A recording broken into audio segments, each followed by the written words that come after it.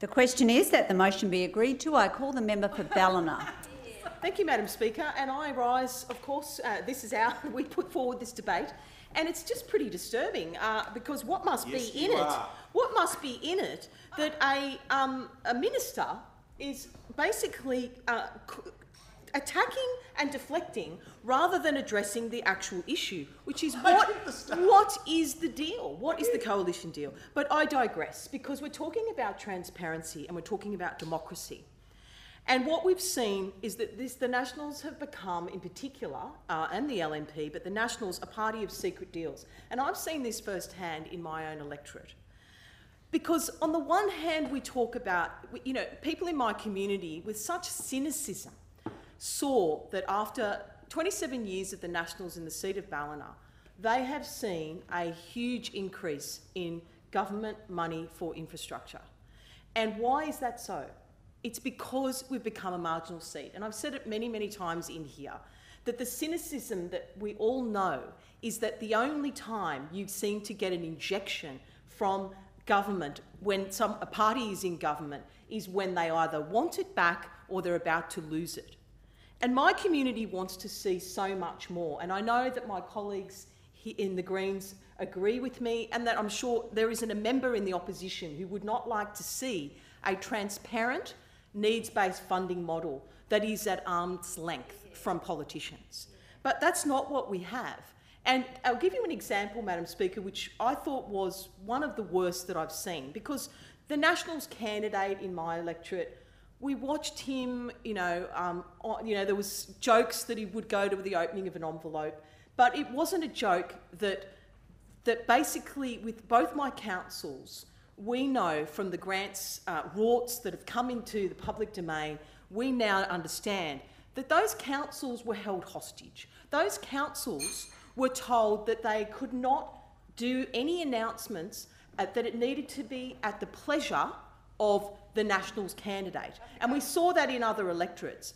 And that it was the captain's pick rather than taxpayers' money. And as we heard from the member for Murray today, the democratically elected members of parliament simply not getting the invite. And I cannot tell you how many times I have been told, oh no, we sent you an invite. And my office has an incredibly diligent administration system, and that is simply not the case. But Billinudgel, this was too much to bear. After the floods, and we saw that the floods were expected to recognise electoral boundaries, and Billinudgel in, in the electorate of Ballina was underwater, and we didn't get that first round of funding. Fast forward a year and a half, two community members put forward a proposal with the Bureau of Meteorology for an early warning system for Billinudgel, and council led that grant application. And they were successful. But do you know what? The, the proponents of that grant told me that the member, that the upper house member national wannabe candidate quarantined that and they waited many, many weeks. And if there had been a flood during that time, that community was in peril because of the ego and the absolute uh, showmanship of a wannabe candidate. And that is just one example of the kinds of cloak and dagger secret deals that are being done. And I am calling today that we need to do so much better.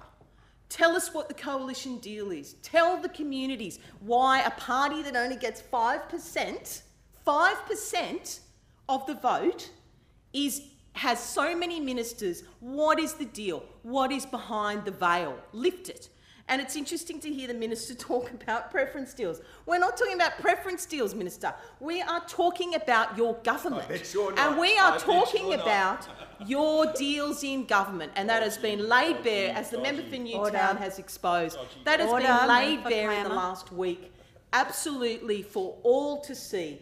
And I return to the cynicism, Madam Speaker, the cynicism that is out there. And I simply will not move. We have, we have seen where the cynicism gets us, and it's time for us to all turn our minds to open and transparent uh, funding and an open, transparent coalition agreement so people can actually see what they are getting.